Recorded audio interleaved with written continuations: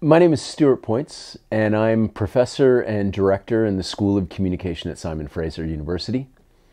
My research is on the mediated lives of young people, and um, I'm especially concerned with the way young people turn to make media to tell their stories about their worlds, particularly as they live in cities today and as they found ways to make worlds that are large and impactful and allow them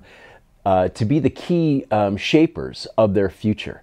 I think one of the situations we face today is that young people are under tremendous pressure around media culture. And my work in media education and in youth media cultures in the lives of young people in cities is all about how young people around the world are using and recalibrating media to make for more positive, possible lives that create larger worlds for themselves and those communities that they're part of.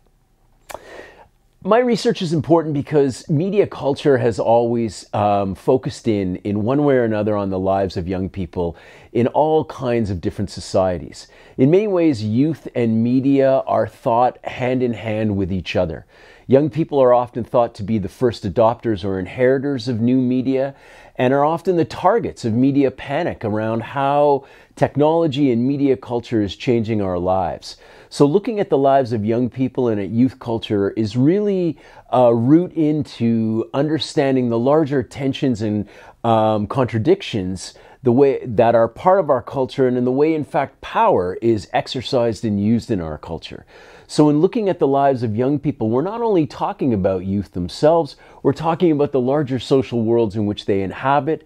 they will inherit and they will in fact change for the future my hope is that in working with and uh, researching young people, we can find ways to make young people's lives uh, filled with greater possibility and opportunity that allow them to shape more robust uh, and secure democratic futures.